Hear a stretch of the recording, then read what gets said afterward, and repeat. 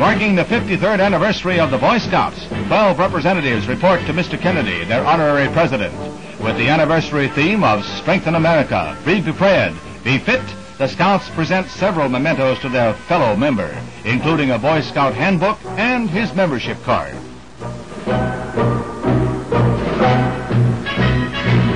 For the president's brother, Robert Kennedy, there's a leather patch attesting to the fact that he successfully completed a 50-mile jaunt. These 50-mile strolls swept the country, and the Marines were out in force after President Kennedy was shown an executive order by President Theodore Roosevelt directing gyrenes to make such hikes. Then everybody got in the Bunion Derby. The president had wondered if present-day Marines could make the hike. Well, almost everybody seemed out to prove that they were as good as the next Marine.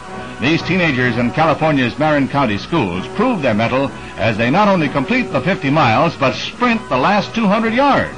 Of course, some fell by the wayside, but four of them finished the stint in 12 hours and 8 minutes.